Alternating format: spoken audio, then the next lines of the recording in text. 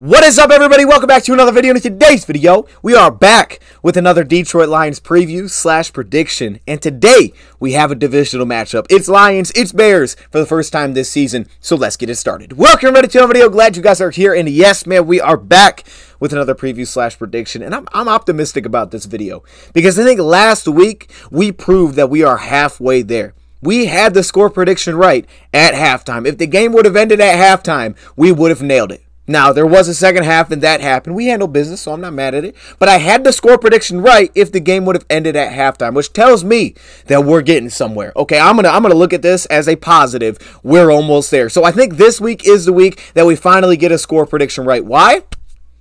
I don't know. Really nothing different than any of the other weeks, but I just feel good about it. I feel good every week, but I really feel good about this one. I really do. We'll see if it happens. Now, before we get into the preview slide and then also the score prediction at the end, we of course first have to start off with what we know so far of who's going to play in the injury designations on Friday. We'll start off with Isaiah Buggs, who has been ruled out for this game, the defensive tackle. Hate to see that first off, but this could also be an opportunity for a guy like Brodric Martin to be activated in this game and potentially get some snaps. Now, I don't really expect expect him to start, but if he did, would I be completely shocked? No. I look at Brodric Martin in this kind of game as this is the game for Brodric Martin. I think on paper, this is the game for Brodric Martin that you would love to have him ready and up and playing at a really high level. Now, maybe that's something that not er this early in his career we're feeling that he's there yet, but I think down the road, this is the vision of what Brodric Martin can do for you defensively, opening up, freeing guys up defensively to really deal with that mobile quarterback in Justin Fields, who's returning this week week. So to me, on paper,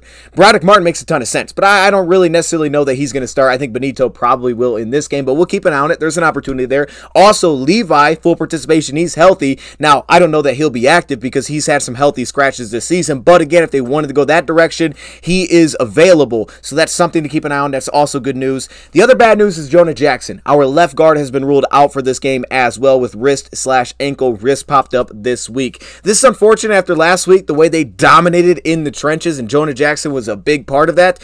The good news is that Frank Ragnow is going to play. Full participation today. He is set to play in this game, as well as Graham Glasgow, as well as both of the tackles. But this is tough to not have our left guard. I would assume Kayode would step in because Kayode, I think, has actually played pretty well this season, and he's naturally slides right into that left guard position. If they wanted to go with rookie Colby Sorsdal, they could possibly look to move Graham Glasgow to the left guard spot. That's a possibility, though I think last time we saw both of those guys on the field, I thought Kayode played better, but they could go with the young guy, and they also could look for maybe a little bit more athleticism against this team in particular. I'm sure we'll bring someone else up as well, just for depth purposes, but I would expect Kayode would be the guy, but I don't know. And then also Iffy, he is questionable for this game, dealing dealing with a hand injury, but he's had full participation the last two days. Really more so here for safety depth, but then also special teams value. Outside of that, a lot of good news. Peoples Jones, he can be active in this game. Now, I don't know how much he's going to play, but I do think against his defense, there are going to be spots and opportunities where he could be a big part. He could be a big time piece and give us a couple of clutch receptions in this game. I just think it makes sense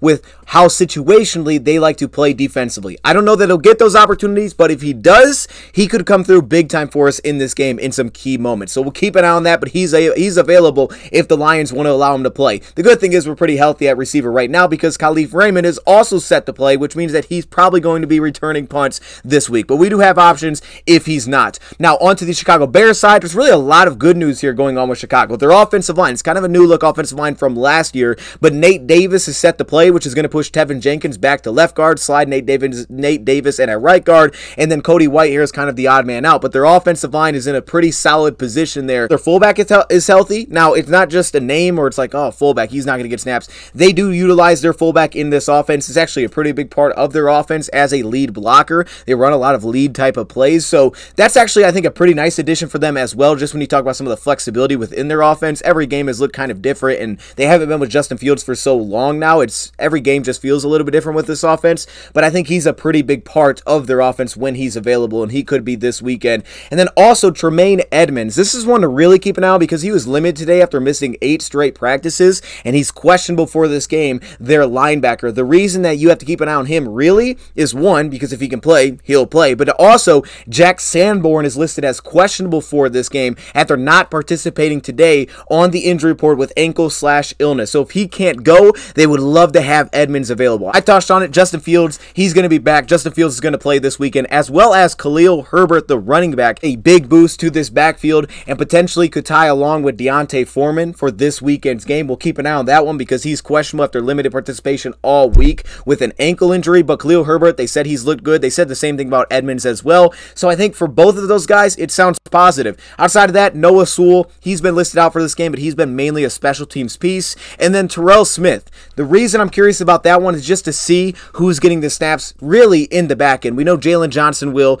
We also know Kyler Gordon will in the slot. But who do they go with at outside cornerback there? A lot of times it's been Tyrique Stevenson. I don't think he's been very good this season. So that's something to really keep an eye on because I think if you look at who's the matchup offensively, and we'll probably talk about it multiple times in this video, Tyrique Stevenson a lot of times becomes that matchup that you want to go after in this one. But with Terrell Smith available in this one, maybe they go that, that direction. Either way, they're both rookies, so we'll keep an eye on that. I'm sure the Lions will try to tack either of those players that are in the game. With that being said, let's move on to the preview side of things. And I'm going to start off Let's start off with Chicago's defense. Let's start off here again. I tried to kind of minimize this as best as possible because these usually get very long.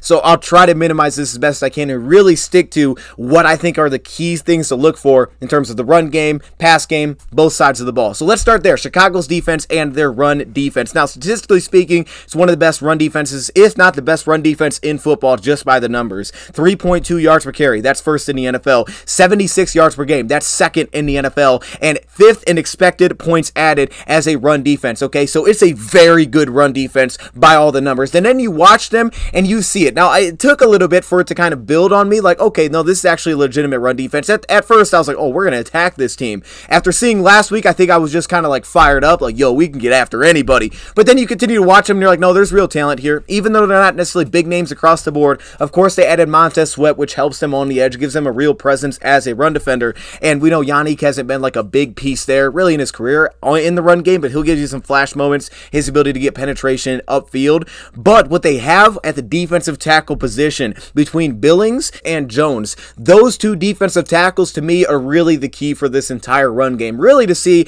how the Lions look to attack them offensively. I'm sure they'll be versatile like they usually are, and they'll adjust as the game goes on. But the guy that I'm going to be circling for this Chicago Bears defense is Billings, who handles that nose tackle position. A lot of times he kind of plays at the tilted one technique. And how does Frank Ragnow deal with that matchup? Because the majority of the time, he's going to see Frank Ragnow. Now, for us, I love that matchup. All right. I'm glad we have a guy like Frank Ragnow for a matchup like this. And I've seen teams, like, for example, Kansas City, good, good movement on Billings. But Billings is a very powerful human being at the point of attack. And he's shown some real quickness at the line of scrimmage. Now, he doesn't flow great laterally in terms of changing directions, but he can get upfield and he can be a presence at the point of attack. And it can be difficult to move him off the spot. Then you look at a guy like Jones, where 93 on this defense, and he gives you a little bit of a different flavor. A lot of times manning their three technique, much more of a upfield quickness type of player that can really wreck things in the backfield and force cutback lanes. Now, I don't think he holds his ground as well when you talk about some of the combo blocks that you can set up. So keep an eye out for the Lions potentially trying to utilize their tackles, whether that be Penei Sewell or Taylor Decker, who did this really well a couple weeks ago, and down block and get movement.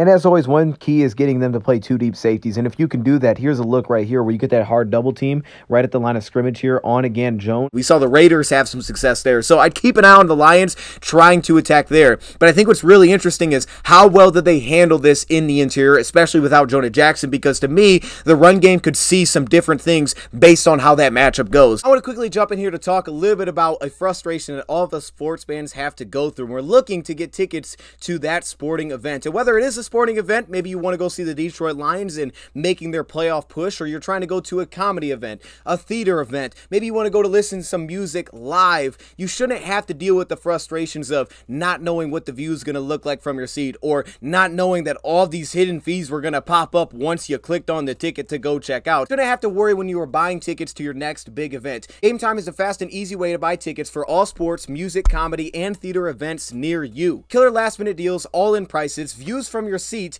and their best price guarantee Gametime takes the guesswork out of buying tickets. I know multiple people that have used my code DOSE and have went to sporting events this year, including myself who went to the Carolina Panthers game and getting a front row view from the second level at Ford Field. Man, it was money. But I knew exactly what I was getting myself into when I bought those tickets because of the view from your seat. Gametime is the only ticketing app that gives you complete peace of mind with your purchase. I knew what the view was going to look like from my seat when I arrived. I didn't have to wait to click on checkout and then I see all these fees pop up and I thought it was run price, but it was another because they have an all-in pricing option. Now, next time that I go and look to buy tickets to another big event, I can purchase those tickets in two taps now that I have set up my account. Take the guesswork out of buying tickets with Gametime. Download the Gametime app, create an account, and use code DOSE for $20 off your first purchase. Terms apply. Again, create an account and redeem code DOSE DOSE for $20 off. Download Gametime today.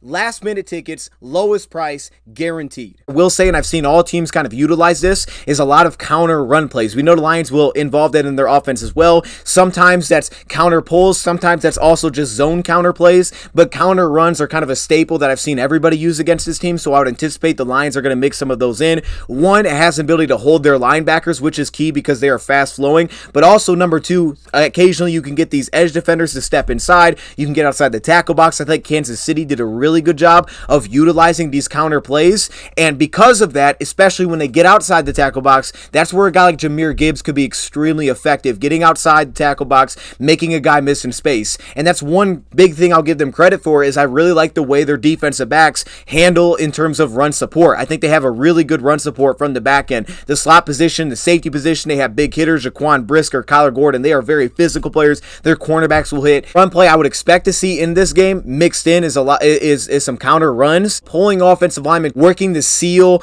these defensive linemen down, specifically with their tackles, and potentially kick out outside of that. Now, big key to that, a lot of times can come back to if they're putting a safety consistently in the box. If you can get them in two high looks, some of those power run plays, pulling offensive linemen, two pulls, handing, handling billing specifically in the interior, that's something that they could actually have some real success with, okay? First off, I think our tight ends can block up their edge defenders. I think we could actually have success based on the way that those guys have blocked all year and what we saw against the Chargers. I think they're going to be able to handle business a lot of times in this game. So it comes back to those interior matchups. And if the Lions are winning those, which they're very capable of after we saw last week, this could be an opportunity to say, forget all those numbers, we're going to run the darn football. And then we're going to make you put a safety in in the box, and because that, we're going to win on the outside. Basically, what we did to the LA Chargers as a game plan. You talk about the second level of this defense, their linebackers, like I said, they're fast flowing. We'll talk about coverage a little bit more in a second, and they really do a nice job of avoiding offensive line blocks. That's really the biggest downside to me to pulling offensive linemen against this team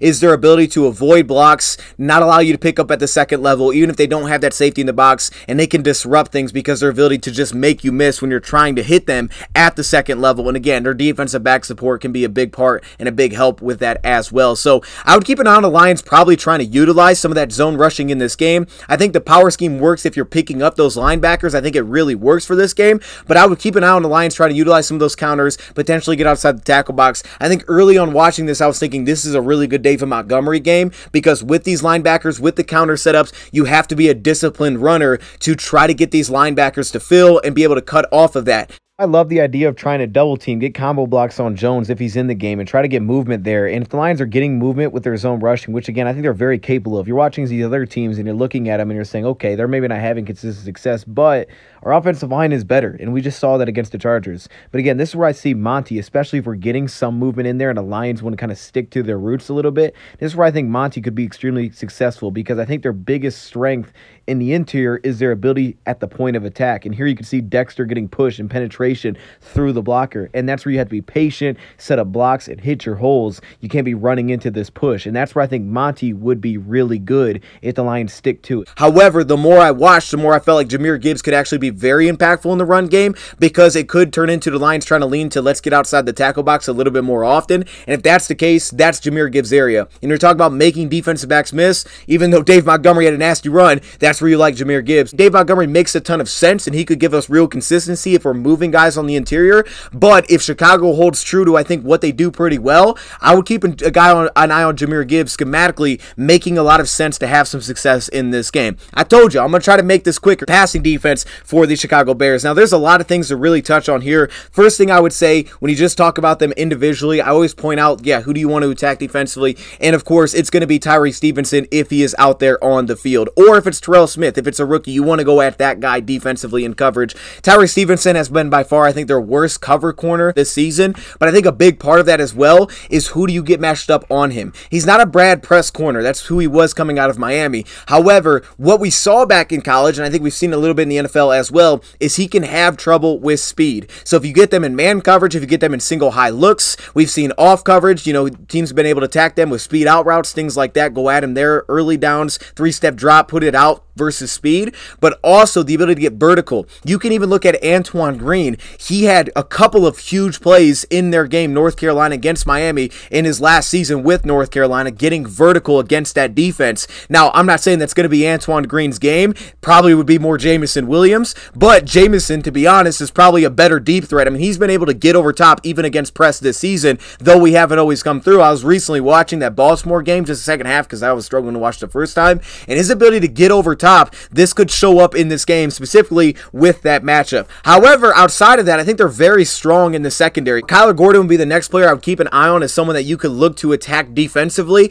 The safety position is healthy with Eddie Jackson and also Jaquan Brisker, though I don't think that a guy like Jaquan Brisker max matches up extremely well with tight ends one-on-one. So if you're getting that matchup specifically in third down because they love to play cover one in third down, that's someone I would also look to attack. But what I'm looking at it personnel-wise, Jaylon Johnson, of course, is over over there as well. But personnel wise, one thing I would really keep an eye on, again, I know we're kind of going back down this road, especially on third down, is a player like Jahmyr Gibbs. The running back usage from a lot of teams that I've seen has been pretty effective when they've utilized them in the pass game for a few reasons. One, the Lions are, of course, the team that's going to use motion. They're going to try to get tails in coverage more so than a team like Carolina, for example, that you see a lot of stagnant offensively. You're not going to get that, I don't think, from the Lions. So that tied along with the opportunity to get one on ones underneath underneath. Whether that's third down where you'll put a safety, they'll put safeties on the running back, a linebacker on the running back. That's something that you want to try to exploit, and those guys usually can win that. Or they're sitting in a quarters look defensively, but they to bring five man rushes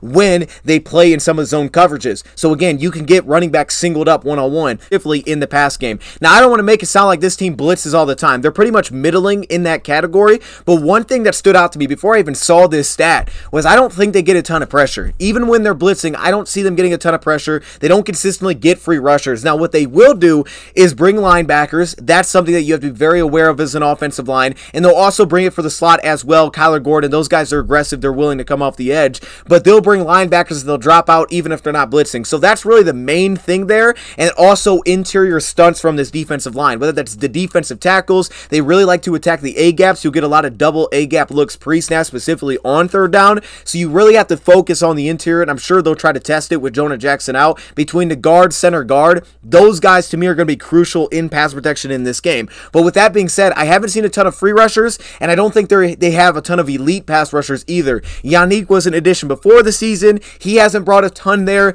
Montez Sweat, I think, is a is a good pass rusher, though I don't think he's elite. And then on the interior, they have some guys that can really win, specifically with guys like Jones. Uh, Dexter has had some success occasionally getting some pass rush, but I don't think they're a very good pass rush team. That's kind of show you only 16.5% of the time do they get pressure. That's 31st in the league. And again, they're pretty much middling in blitz rates. So to me, that's a real positive because they haven't shown much of that this year. And I think the offensive line for the Lions is pretty strong even without Jonah Jackson. That I think that's going to be a really good matchup for them is pass protection against them trying to get pressure on the Lions, especially if you start passing a little bit more in this game to try to attack what they're worst at statistically. Statistically speaking, on the season, they're 30th in passer rating allowed, giving up 20 touchdowns to six interceptions. Six interceptions isn't bad, but 20 t- touchdowns is not great at this point in the season. So statistically, they're not as good in coverage. And again, I think a lot of that can be that you can kind of find matchups that you really like. Here's some things I would keep an eye on them specifically, though, in coverage. First thing would be from cover three. It's something that they like to utilize. And the real key that I noted here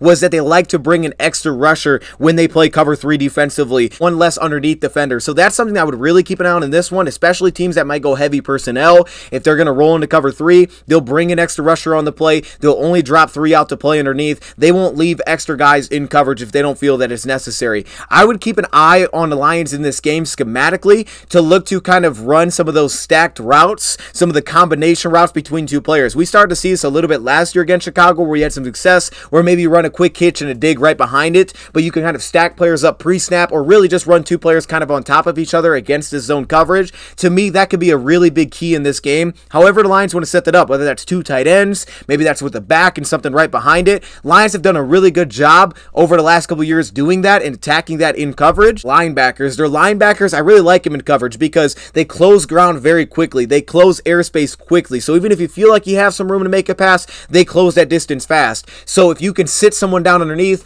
force that linebacker to pull up in coverage, that's when you can really start to find that success within the second level. We've seen the Lions do that on the play action sets. We've seen teams spread them out and do it. It's something that I would keep an eye on. We saw that last year when we played Chicago. Layered second level throws in this game. I think that can make a ton of sense. Now, I think there's two ways that really Lions could go about this. One, I think when you look at them, you could say that you could put more receivers on the field, utilize motion, be less stagnant than some other teams I've seen like Carolina be, where their offense, they just don't have a ton of movement pre-snap. Now, I did see if you consistently spread this team out, as you can see here, they can get very creative with some of the looks that they can give you pre-snap versus post-snap rolling safeties here in a cover three look. But you're also noticing that there's no movement from Carolina. So here, safety linebacker switch, still cover three, but there's no movement. And I think the Lions' movement could help them a ton pre-snap. The Lions do find a way to kind of get them to dictate coverage a lot of times with that motion. Teams like Kansas City did that really well. And then because of I don't think they get a ton of pressure, that's something the Lions could look to lean into in this game. It would not shock me. But like we saw last year we played Chicago, it's a little bit different right now in terms of who the Lions have.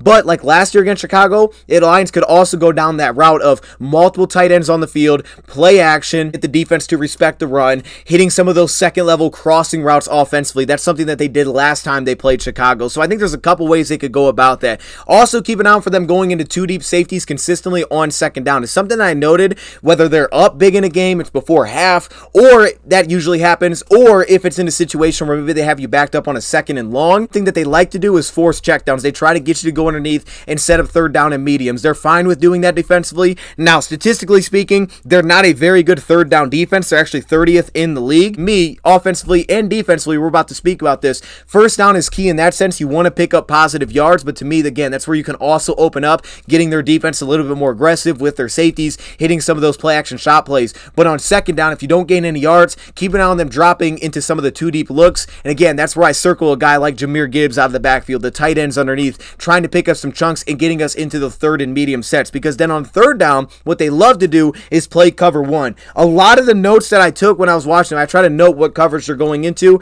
Majority of the time, it was cover one defensively, which is a single high safety and man coverage across the board. Now, there's variations. You can roll down a safety, you can play a linebacker underneath, you can bring a blitz. They'll play different variations of it. Sometimes they'll blitz, sometimes they'll drop out, but they love to single up on third down. And if that's the case in this game, you have to find again who is that third down beater. And I kind of told you the guys that I like to attack. If St. Brown gets one on one, that's something that you definitely have to lean into. Like we saw last year, we hit a corner route, single high safety. You can get outside the numbers. Some guys underneath, they'll pull the corners down, and you hit a corner route to St. Brown one on one. Again, he's probably going to see some Kyler Gordon. I still like that matchup in this game. He's given up a, over a 100 passer rating this season. Stevenson, Terrell Smith, whoever is out there opposite of Jaylon Johnson, I would look to that matchup. And then also the utilization of the back. Now, the key here would be this because of the way they bring pressure, if you're going to utilize your running back on routes, I like that. However, if you're not going to, and Dave Montgomery's in the game, he's going to be crucial, or whoever that will be, will be crucial in pass roll because they will blitz.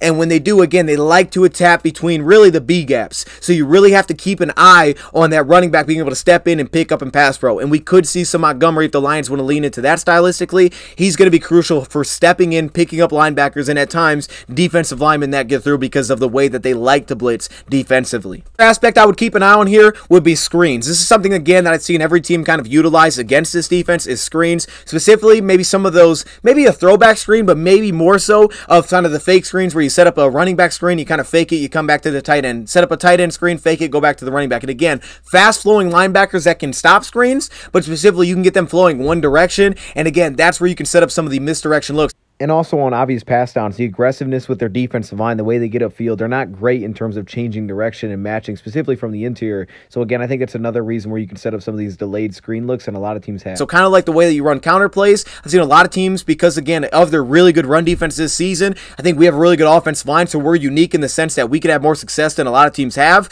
But it's been a big time extension of the run game for a lot of teams that I've watched. So for the Lions, if they're not getting the movement they want, watch for them to start utilizing screenplays, specifically running back screens, specifically some of the misdirection screens, to try to use that as an extension of their run game. That's why I could see Jahmyr Gibbs having a big game, really both receiving and rushing. Really, in the red zone, you can also point to this on third down as well. Watch for the Lions to try to set up some rub routes because of the way that they play pure man coverage, but also even when they go to some of their zone coverage looks when you get inside the five, look for the Lions to try to utilize that. I've seen multiple teams. You can go back to us last year when we utilized our tight end, set up a rub route, got the tight end underneath, he walks into the end zone. We know we've been a little bit more less less consistent this year punching it in when we get in red zone spots, but like us, they are a terrible red zone defense. They give up a lot of touchdowns. So look for rub routes. Same thing on third as well, especially if it's third and short. Look for those kind of setups from Lions offensively. Moving on to the other side of the ball, and we talk about the Chicago Bears offense, which is kind of difficult. The offensive line, like I said, it's a little bit new look. Across the board, you have Braxton Jones at left tackle, who's been a really good pass protector so far this season.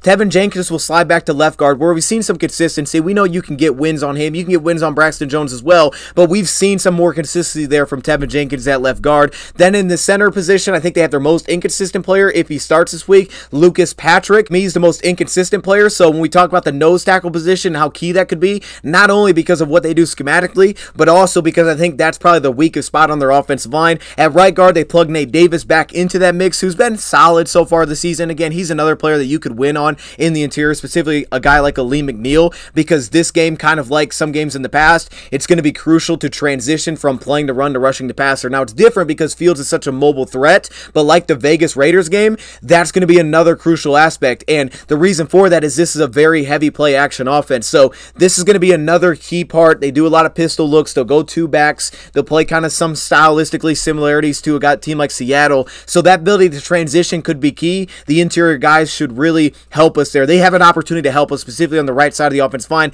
And then they have a rookie in Darnell Wright. Now Darnell Wright, we know how well he hung with Will with Will Anderson coming out of college, and that was kind of like the yo, look at him in this game. This is one of those teams where I can see the Lions leaning into putting a five man front on the field. And if that's the case, we know Hutchinson will be out there on the edge. But last year was a guy James Houston. You guys can all probably remember how critical he was. Some of the sacks that he made, the forced fumble that he had on fields when he took off. The athleticism that he brought was crucial. I'm going to doubt that Bruce Irvin is going to play in this game. If he did, it'd be great. But I can see the Lions going into that five man front. Maybe that's with the Jack Campbell on the edge because of the athleticism, the ability to drop out in coverage. Less about maybe pass rushing prowess. If it's not Jack Campbell, which to me would make sense that it's not, the Julian Okwara's, the Charles Harris, whoever's stepping into that role we got to keep an eye on that player. Again, you want to have athleticism out there. They're going to try to utilize the quarterback read option. It also opens up their ability to bring a five-man five-man rush without having to bring it from the second or yeah, really the second level. They can bring it right off the line of scrimmage and just not drop out a third underneath defender. Say they're in quarters, they just drop two defenders. And to me, that's it was kind of an Aaron Glenn special in a sense to me because Aaron Glenn had that kind of strategy going in, like, hey, we're going to bring a five-man rush against Chicago last season, but we're just going to put we're going to have our five guys on the line of scrimmage just rush. That's going to be the difference. So, yes, you get an extra blitzer, but we just take away a guy from underneath in coverage. And against this team, sometimes they'll limit the options that she'll actually put out there on the route tree, especially when they go to a lot of their play action looks. They're trying to get big hitters, crossing routes, you know, vertical threats. DJ Moore now added to that mix. The rushing offense first, and they are a very good rushing offense. And now you throw Fields into that mix, who has had some monster games against us. Specifically, it's usually like one or two just huge runs that he has, and it's like, oh, his numbers are insane. That's usually what takes place. But even on the season, season. Lions are one of the worst teams statistically in terms of yards per game allowed to quarterbacks this season rushing the football. But I think what makes them so tricky is the misdirection. The two back looks, the fullback, two running backs in the backfield, especially if Foreman's up in this game, the receivers that they'll utilize in the backfield makes it very tough because you're going to have limited resources to stop the run. That's what makes it difficult. Now, one team that was really interesting was a team like Kansas City. Kansas City blew them out on a scoreboard, but I thought one thing they started to do in that game was on second down, they started to crank up the blitz to stop the run. They started bringing extra players, getting extremely aggressive, and they were just, we're going to blitz to stop this run. And they started to create negatives, get them in third, third and long situations, and I thought it was able to get them off the field. But it's why, defensively, to me, Third down, it's always crucial. It's always a crucial down. But to me, the first two downs are what's really the key in this game. How do you perform on first down and second down? A lot of times you'll see them look for some of those shot plays offensively. The quarterback run is, of course, always in play there. But if you get them behind the chains, that kind of starts to go away from them. Or if you're winning in the game, that can start to get pulled away from them. Things to keep an eye on, like I said, multiple backs in the backfield. Keep an eye on a fullback. They're not afraid to run the ball on third down. If you thought we were the only team that's willing to run the ball on third and five, this is also a team that's willing to run on third and five. So I would just say that statistically on the season, they're averaging 4.5 yards per carry. That's seventh in the league. 135 yards per game. That's fifth in the league. And third in expected points added through the run game. So yes, statistically, they're pretty awesome as a rushing team. And the quarterback is a big threat of that. But even without him, they're running the ball well. First off, it's the nose tackle position. One, if Brodric Martin's playing, like I said, his ability to potentially hold multiple gaps for the Lions can help free up guys defensively, even if you're not consistently putting a safety into the box, to have run support. And that would be huge for the Lions because of the quarterback threat, because you can free up an extra player if a guy like Brodric Martin can handle multiple gaps. Then I would keep an eye on our defensive ends, especially with a five man front. Okay, yes, edge rushers, but I'm really speaking on the John Cominsky's, the Josh Paschals, the guys that are going to have to deal with tackles a lot of the time. Maybe they're playing into the B gap, trying to play through the C gap there. Keep an eye on that piece, John Cominsky, Josh Paschal, to handle down blocks that they're going to try to throw with a guy like Darnell Wright because of his physicality. He can really do that, trying to get outside the tackle box. That position specifically to me is a key, as well as the nose tackle position in this game. Only run outside the tackle box with the running backs, but they'll also utilize quarterback powers, quarterback sweeps. They like to pull offensive linemen. Again, they like to get outside the tackle box. You'll get a lot of wide zone hitting plays, whether that's a toss or just a wide zone rushing plays, but a lot of times it's kind of through a toss. And to me, this is one of those games where gap discipline becomes so crucial and being able to win everybody across the board. Here you can see with the tight end and the defensive end on this play, not being able to get inside, and then the safety who fills kind of that split zone look that they give for the quarterback to have a lead block on the play. When he settles inside to play through a run gap, that's when they get to the edge and they have a huge running lane for the quarterback. And to me, where I think they're really difficult is they're capable of attacking you in a lot of different spots, specifically where they may feel like you're a little bit weaker defensively. So on this first play, you can see going at the edge defender, utilizing the tight end to kind of seal it off. Here, they seal off that defensive tackle in the three technique here with their tackle. And then again, they get up to the second level here, blocking your edge defender with a tight end and a fullback. But really, regardless of how you feel they are going to attack you offensively, really the key always comes back to who becomes that front side defender and who can win. And you can see here, like Darnell Wright on the defensive end, he's able to hold his ground. And that's usually what it seems to come back to because they can set these combo blocks like here against that one technique 91, get up to the second level. But as you can see, holding the ground against Darnell Wright, forcing a little bit of a cutback here, and allowing the defenders to kind of rally to the football onto their pass game. Statistically, they're not as good here on the season. We'll just talk about Fields. He's completing 61.7% of his passes, 11 touchdowns and 6 picks, which isn't bad, and a 91.6 pass rating. Probably the worst thing of that is the completion percentage and also 1,200 yards basically total on this season so far. To me, the pass defense and the run defense tie together because, again, if you can stop the run without having to consistently roll the safety down the box, specifically on first down, that is crucial because I think for the Lions in this game coverage wise, I think kind of back to what Aaron Glenn did last season looks with a five-man rush. Being able to play two deep safety specifically on early downs can really help minimize some of the explosives they're able to create. And Lions have been really good there statistically all season. It's not giving up explosives until last week against the Chargers. And in this game, I think that's crucial because of the shot plays. They like to hit the crossing routes because of the man beaters that they have. They're going to test your safeties if you have a single high safety. So those guys got to be on point. Tracy Walker, Kerby Joseph, diving on crossing routes, taking that away. Here you can see Denver rolls down into the single high look, and really the key becomes the tight end on this play. In line, running this crossing route with the vertical route. When he rolls to the middle of the field, they run a crossing route right underneath it. And again, he isn't in a position to dive down and take this away, and it picks up a huge chunk for them. The rollouts, the bootlegs, huge part of their offense. As like DJ Moore in the mix, as well as having Darnell Mooney still, who they use really creatively. You'll see him on like beneath routes against man coverage. He, he's very creative, and he can get a lot of matchup issues. There's still an offense that loves to lean into rollouts offensively, kind of cutting the field in half, but also utilizing some of the layers concept, first, second level, having guys just crossing his face. So you'll get a lot of crossers. So the safeties are going to be key there. Keep an eye on again. We talk about that five man rush. If Darren Glenn started to bring it from like a slot position and really try to cut the field in half again, maybe try to make him play through the boundary side of the field or towards or away from his weapons, multiple weapons, bringing Brian Branch off the blitz. He's a very good blitzer. I think it's one of his best traits. We saw this a lot against Seattle, who again, a lot of play action, pistol, those kind of things. Aaron Glenn could go right back into that. I know it didn't consistently work, but there was a lot of opportunities there. Don't be shocked. We saw it last time we played at Chicago, bringing some of those slot blitzes, trying to kind of force Fields one direction cut off the side of the field for him, and then play that way. Another thing that we saw Aaron Glenn do last time we played Chicago was combo coverage. Now, I don't think we've seen as much of these looks from the Chicago Bears offense this season, at least I haven't, where it's as many of the spread looks offensively, but combination coverage is something I would also keep an eye on in this game, and specifically meaning there, half the field plays man, the other half plays zone. And we saw a lot of times last time we played this team was to the boundary, the short side of the field, we would get man coverage, or if it was like a tight end end, there was two receivers, so it was a tight end and one receiver on that side of the field. You might get man covered, safety and corner one on one. Then to that field side, or maybe where they have more receivers, you would see a zone coverage look defensively to handle some of maybe the quick rollouts that they'll try to hit, or some of the quick hitters. You had a lot of combo coverage that Aaron Glenn threw at them last season. One that could happen if the Lions are able to build up the lead and they have to start to kind of lean into the pass game. They start to go spread it out a little bit more. Look for that defensively, but also third down situations. They could also try to lean into that. Team like Kansas City played a lot of cover one defensively. Lions could mix in between man and also combination coverage defensively. That would not shock me. It also can help them keep eyes on the quarterback while still partly playing man coverage. So again, we know the Lions don't play up here, spy. We know the pass rush lanes are going to be crucial. You want to get pressure. I want to see these edge rushers still be able to get pressure in this game,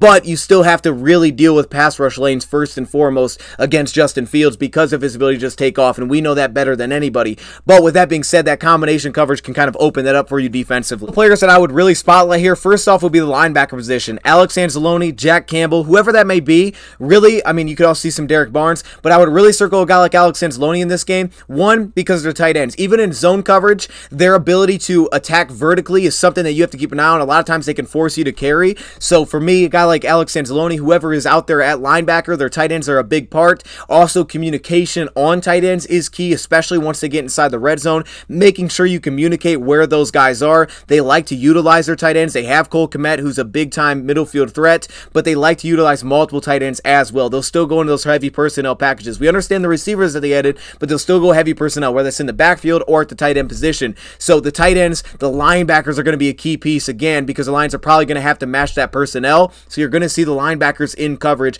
They're going to be extremely important in this game. Well as I think Brian Branch, and not only for what he could be as a blitzer in a way that he could really help impact this game, but also in coverage because they do like to take shot place through the slot receiver position. If they feel that you're in cover three, they they do a nice job of getting cover three beaters. If you watch them against Denver, they ran kind of an out and up look, which you know the cornerback carried it, but he was in a really tough position. They end up giving up a touchdown, but then they came back, had a sense of the situation that they were again go single high safety, and Justin Fields just looked off the safety and they had a wide open tight end going up the seam there. So they can get beaters, especially to a single high safety look. Let's come back to the ability to stop the run defensively. And if you're a team like Kansas City, I would take something out of their book of, hey, on second down, if we can get, you know, limit what they pick up on first down, whether that's a run or if it's a pass, if it can go incomplete, maybe look to get aggressive on second down and try to shut down that run play. Don't let them pick up big chunk plays in the run play. the best third down offenses in football statistically. Here's really my three keys for us defensively in this game. Number one, avoid giving up big pass plays. And I think we'll have a good plan from Aaron Glenn in this game from what I've already seen. But again, like I said, that can kind of stem back to your ability to stop the run. Number two, linebackers in coverage. We're going to see this, whether that's zone or man, combo coverage, linebackers in coverage, but then also linebackers are going to be responsible as well a lot of times for keeping eyes on Justin Fields if they're not manned up. So they're going to have a big time responsibility in this one. And then first down defense. Again, the first two downs really are the critical downs to me more than anything is how do you handle business on first and second down? Can you stonewall that run game at all? Players to watch in this game. Offensively, for me, it's going to be Frank Ragnow. I think he can set the tone. If he dominates at the point of attack, the Lions could run the ball way better than we've seen a lot of teams do this season. We've teams we've seen teams have success at times, whether that's New Orleans with their outside zone rushing attack, and Kamara was running really well in that game. Then at the running back position, to me, I think David Montgomery makes sense if we're doing well in the offensive line. But to me, I think this could absolutely turn into a Jahmyr Gibbs rushing and in the pass game. So I'm going to really circle Jahmyr Gibbs for this one, and I think he's got an opportunity to have a massive game for us in this game, even on second downs if we're forced to go underneath. And then finally, I would say at the receiver position, who gets that matchup on the young cornerback, but also if it's Tyrique Stevenson, we know Antoine Green was able to get vertical. Jameson Williams, that's a really big threat in his game, but then also a guy like Donovan Peoples Jones. And the reason I circle him is because specifically how much man coverage they like to play on third down. If you're caught in like a third and eight plus and they're playing cover one, someone's going to have to be able to get to the sticks and get open. And I think with these cover corners, you're talking about Lions like to run some of those deep curl routes, come back to the ball. To me, that's not what Jameson has shown that he's best at, at least to this point. Neither has Antoine Green. But Donovan Peoples Jones, a new addition to this offense, that's an area where he can really win. Is at the top of the route. He's savvy, he's a physical player, and he's really good in contesting. He has great hands. So his ability to spot up on some of those potential third down spots could be a difference maker at times in this game. So I would keep an eye on it. Plus, he brings still vertical speed. Defensively, Alex Anzalone. You could really circle any linebacker in this game, whether they're on the line or they're off ball, but I'm going to circle Alex Anzalone as a player to watch. Also, the defensive ends, Josh Paschal, John Cominsky, and then the edge rushers, because they're going to be thrown into a lot of read option looks, but I still think they also have to give us occasional pressure in this game,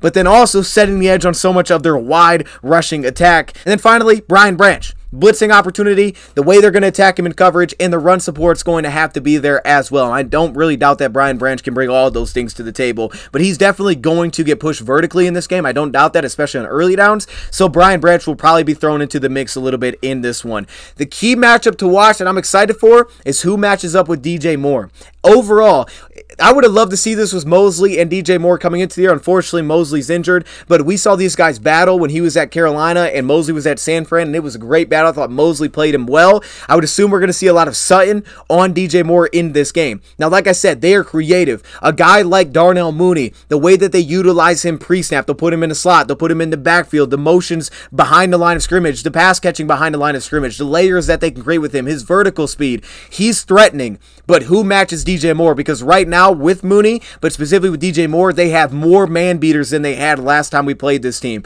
So to me, DJ Moore is of course like the biggest passing game threat that they have. And Cole Kmet, I mean, they have real weapons right now, especially if you're leaning into man coverage. So to me, keep an eye on who matches DJ Moore. I would assume it's going to be a lot of Cam Sutton in this game, and I'm so fired up to see that matchup. To me, the Lions, I think, can really win this game soundly if they can get up specifically early in this game because you can start to pull back what Chicago can do. That's when you start to rack up sacks, when they have to lean into the passing game, you start to limit their offense, and you can win soundly. This thing also could go down to the wire. And really, we played both of these games last year. In Chicago, 31 30, we got the win. At home, 41 10, we got the win. One of them, we built up a lead. Now, they scored on their first two possessions, I believe, touchdown field goal, but then after that, we kind of halted it, but we continued to score offensively, up a two score lead at halftime. And once that happened, the game was kind of, the game kind of got out of hand for them. However, the other time, when you're going back and forth or you're playing catch up, that's when you have an, situation where everything's available for them. And just like that game in Chicago where Fields was able to pull the ball down and take off, that's where that's still a threat in the game, and that's where they become really threatening. So for me in this one, I'm going to go with another confident prediction. We're going to see if I get it. I'm going to go 31 17. The Lions win this game by two touchdowns. I could easily see this going down to the wire and being very close because if they keep it close throughout the game and it's manageable for them and everything stays alive, very possible. If they're able to hit some explosives, which is very possible within their offense because we've seen teams give those up. If they're able to hit explosives and you really can't stop the run, they can open up some things and they can force you to have to pass the football and try to play catch up offensively. But with that being said, I think our offense can have real success passing the football once again in this game. And I think the Lions, maybe in the second half, will be able to pull away a little bit. So I'm going to go 31 17. Lions at home. They get to 8 and 2 for the first time since 1962. So with that being said, let me know your thoughts in the comments below. Thank you, Prop, for watching, and I'm out.